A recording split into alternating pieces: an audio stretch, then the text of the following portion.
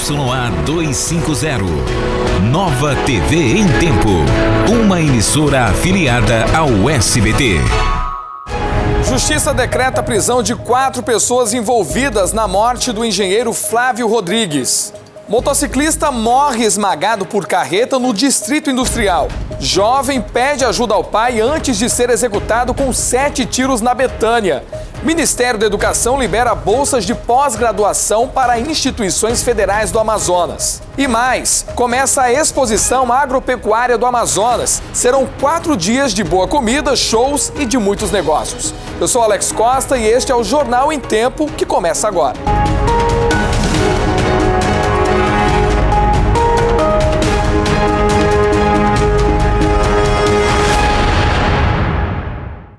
Olá, muito boa noite para você. A Polícia Civil prendeu uma quadrilha que roubava carros e cometia assaltos em Manaus. Dois integrantes do bando seguem foragidos.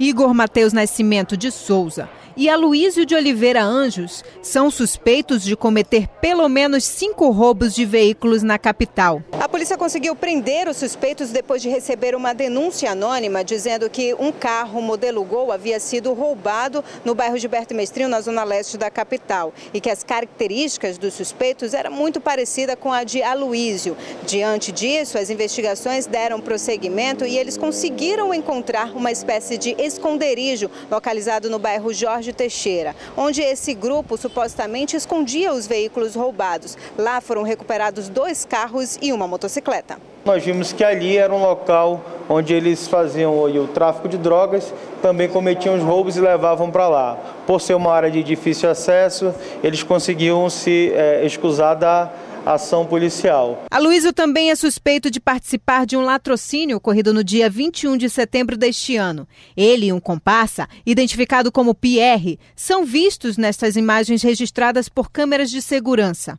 Eles chegam de motocicleta, um deles desce apontando uma arma para as vítimas que estão sentadas em frente a um estabelecimento comercial e ao entrar, minutos depois, o servente de pedreiro Rui Coelho Campos, de 26 anos, reage ao assalto e acaba levando um tiro. Depois que os assaltantes fogem, Rui ainda tenta andar, mas não resiste ao ferimento e morre ali mesmo no local. Lamentável. E mais de uma tonelada de alimentos com a validade vencida foi apreendida em uma operação conjunta da Agência de Defesa Agropecuária e Florestal do Amazonas e a Polícia Civil. Tarcísio Laine.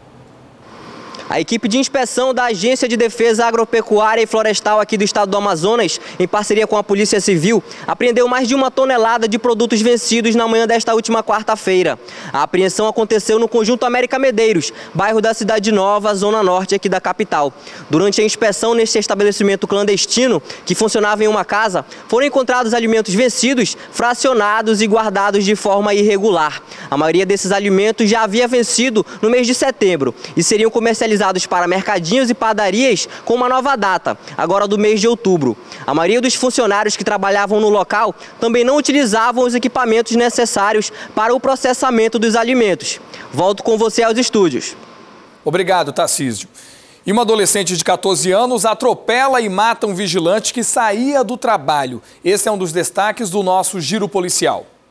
Uma adolescente de 14 anos atropelou e matou o vigilante Cisbe Carvalho, de 45 anos. O homem atravessava a faixa de pedestres da Avenida Coronel Teixeira, na Zona Oeste. O rapaz havia pegado escondido o carro do pai, um empresário que tem lojas de suprimentos de informática. A vítima saía do trabalho em uma escola quando tentou cruzar a pista em direção à parada de ônibus. O cantor de pagode Marnildo Fonseca Júnior, o Juninho, foi executado com sete tiros na noite da quarta-feira. O crime aconteceu na lanchonete de propriedade dele, na rua Japurá, Praça 14, Zona Sul de Manaus. Os criminosos chegaram em um veículo não identificado e dispararam contra o cantor.